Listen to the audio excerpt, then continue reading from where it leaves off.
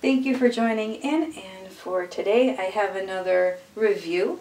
This is a 15 piece brush set that I purchased off of Amazon.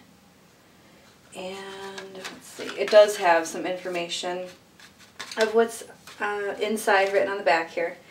But it comes in this really nice black case. And then when you open it up, everybody's inside there. And again, there was 15 different brushes. There's some filbert, angle, round, flat, fan, rigger, liner, mop, and black holder. Well, the black holder's this. So, and the measurements of the holder are, it's like 14 by 11 open. And then when you close, it's written here, says like 14 and a half by five and a half. Okay, yeah, and just some just some information there. It says like on each brush there's actual numbers that corresponds with what they are on here. So that's cool too. So if you, you really weren't sure about something or if you wanted to know, the information is on here. U.S. Art Supply. That's all it says on here. Yeah, I was really shocked. This set was a total of $10 plus shipping. But um, that is definitely, definitely worth it.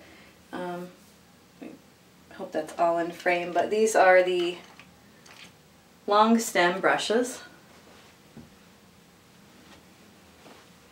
Yep, the long handle. Again, all the numbers are printed in the middle. A little bit of gold trim. And they are really soft.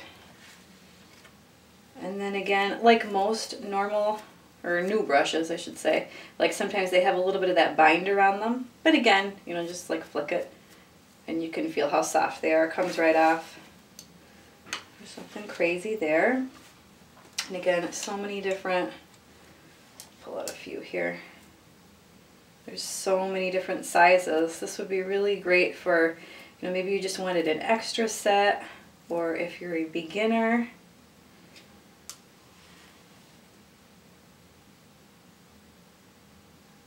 These are really nice and definitely worth $10.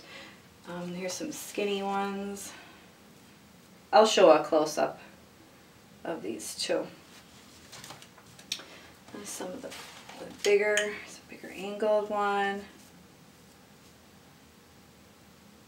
This is like sturdy, nothing's loose. Yeah, it's like really nice quality.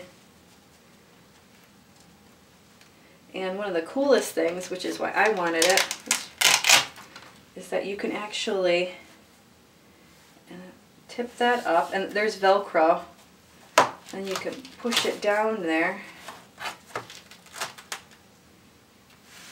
And if you wanted to keep your brushes like that popped up, you could.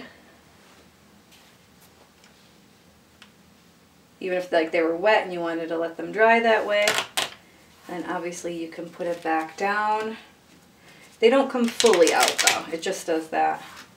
This other part's sewn in on the bottom. So again, this part bends, you can put it that way, or you can leave it flat. Again, the same thing over here, which I thought this was so cool. I have never had anything like this before. Yeah.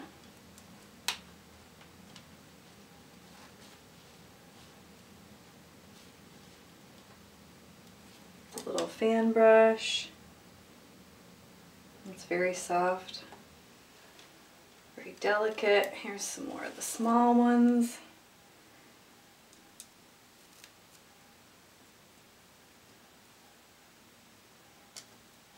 everything just slides right back in its place, which is great, especially if you're somebody, um, maybe you misplace things, lose things, or maybe you're on the go, and then you can just to pack it up, take it with you. But again, I like how everything is in the same place because I'm definitely somebody, you misplace things, lose things. And of course you can always, if you have um, different brushes, you can, you know, mix and match and put your favorite ones in here. But definitely this container here is very cool. And also up top here, when you, as you can zip everything up, there's a little, little tiny handle up here too. So even if you wanted to like hang it somewhere in your studio or wherever, that's also very convenient as well. And again, it was the 15 brushes and the case, $10. Definitely a great deal. Can I do, I really love this can put both sides up or leave them down.